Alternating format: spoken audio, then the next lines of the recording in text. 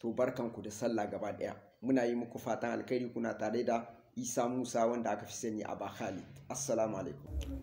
Assalamu alaikum warahmatullahi wabarakatuh yan uwa. Barkanmu da barkanmu da haka barkanmu da sake saurara da ku a cikin wannan bidiyo mai albarka.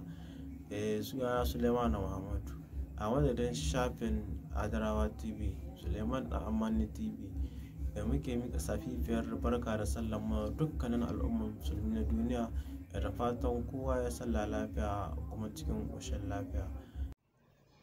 Assalamu alaikum wa rahmatullahi wa barakatuhu. Wassalatu wassalamu ala rasulullah.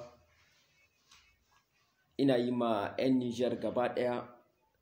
Ina tura saƙon barka da sallah ga 'yan nijar musamman wanda suke cikin nijar zaune.